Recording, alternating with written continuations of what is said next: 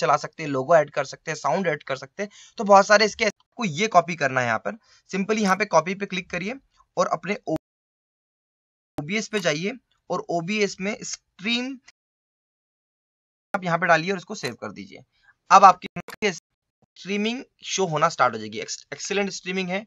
यहाँ पर अब मुझे गो लाइव का ऑप्शन भी जल्दी आ जाएगा, जैसे स्ट्रीमिंग यहाँ पे आना स्टार्ट हो जाएगी राइट तो अब मेरे पास में यहाँ पर मेरी स्ट्रीमिंग और भी अगर आपको कुछ डाइव जा चुके हैं लिंक कॉपी करके मैं साइड पर अब इस वीडियो को आपको देखना है तो आप इसको शेयर करके एक बार